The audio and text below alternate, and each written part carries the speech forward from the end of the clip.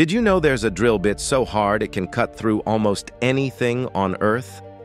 Tungsten carbide drill bits rate 9 on the Mohs hardness scale, just one point below diamond at 10.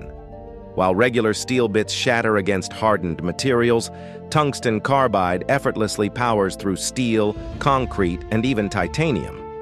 This isn't your average hardware store tool. Tungsten carbide can withstand temperatures up to 3000 degrees Celsius without losing its edge.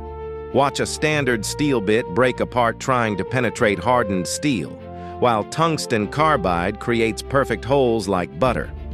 The difference is shocking. These bits cost 10 times more than regular steel ones.